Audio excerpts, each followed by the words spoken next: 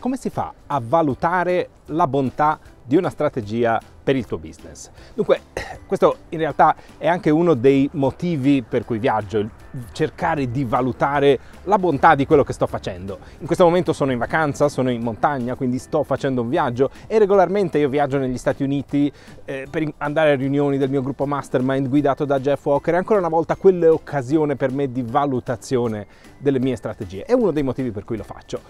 E il punto è che quando si è troppo dentro, troppo vicini, a, troppo dentro a quello che si sta facendo. Quando si ha il proprio business a tanto così, eh, diventa molto difficile valutare in maniera oggettiva quello che si sta facendo. E è importante essere dentro nel momento in cui si lavora, nel momento in cui si sta portando avanti un progetto, è importantissimo esserci dentro, trainare, remare senza stare troppo a pensare ai massimi sistemi. Però arriva sempre il momento in cui bisogna un attimo uscire e valutare se ciò che si sta facendo strategicamente è la direzione corretta, se è necessario apportare un cambiamento di direzione alla propria traiettoria.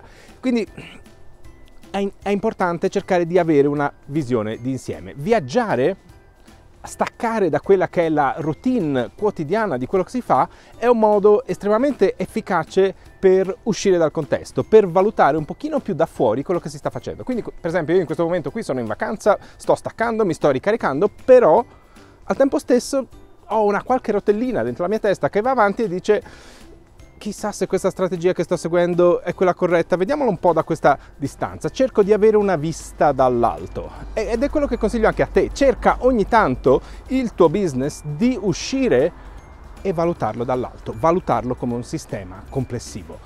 E in generale questa è una cosa che puoi fare viaggiando, d'accordo, staccando da quella che è la tua routine, ma lo puoi fare anche quotidianamente, praticare quella che è la vista in terza persona. Quando ti capita una qualche situazione che vuoi valutare, invece che valutarla dall'interno, da dentro di te, dal tuo punto di vista, prova a uscire, ad avere una vista da osservatore, guardare dall'esterno quello che stai facendo e valutare se quella è la strategia giusta. Quindi quando si è troppo dentro a un qualcosa che si sta facendo diventa spesso molto difficile riuscire ad avere una visione d'insieme. Viaggiare è un modo per uscire dal contesto, per cercare di avere una vista dall'alto e in generale cerca di praticare la vista in terza persona in modo tale da osservare, da essere un osservatore di ciò, di ciò che fai e quindi cercare il più possibile di valutarlo, di valutarlo in maniera obiettiva. Io sono Marco Scabbia, se stai guardando questo video in qualunque luogo sul web che non sia il mio blog vai su www.marcoscabbia.com, poi lasciami un commento, lasciami una qualche reazione, condividi questo post